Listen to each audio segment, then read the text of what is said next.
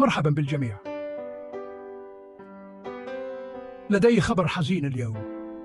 لقد توفيت أسطورة أفلام فنون القتال تشنغ بيبي عن عمر يناهز 28 عاما أعلنت عائلتها يوم الجمعة أنها رحلت بسلام في منزلها يوم 17 يوليو محاطة بأحبائها. كانت تكافح مرضا تنكسيا عصبيا مشابها لمرض باركنسون تم تشخيصه في عام 2009 break time 0.1 وولدت شن في شنغهاي عام 1946 وانتقلت إلى هونغ كونغ في الستينيات وبدأت العمل مع استوديو شو شو براذرز. اشتهر هذا الاستوديو بجلب أفلام الكونغ فو كونغ إلى الجماهير في كل مكان.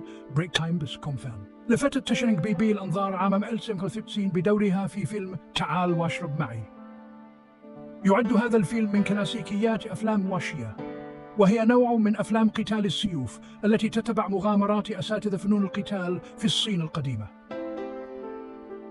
خلال العصر الذهبي لسينما فنون القتال في هونغ كونغ أصبحت تشونغ اسما مألوفا بريك تايم ذونت أمريها ولكن في عام 2000 اكتسبت شهرة عالمية عندما اختارها المخرج أنج لي لدور جايد فوكس في فيلم النمر الرابض التنين الخفي الذي نال استحسان النقاد.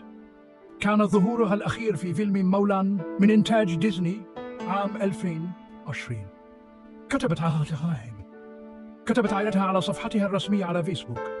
أرادت والدتنا أن تذكر كأسطورة فنون القتال ممثلة متعددة المواهب امتدت مسيرتها الفنية لستة عقود. عبرت ميشي ليوه التي شاركت تشنغ بطولة فيلم النمر الرابض التنين الخفي عن تعازيها القلبية لعائلة تشنغ وأصدقائها ومعجبيها. وكتبت على إنستغرام سنفتقد لطفك وموهبتك الاستثنائية. لقد فقد العالم أسطورة حقيقية من أساطير فنون القتال. ارقدي بسلام يا تشنغ بيبي. شكرا للمشاهدة. لا تنسوا الإعجاب والمشاركة والاشتراك لمزيد من التحديثات عن نجوم فنون القتال المفضلين لديكم.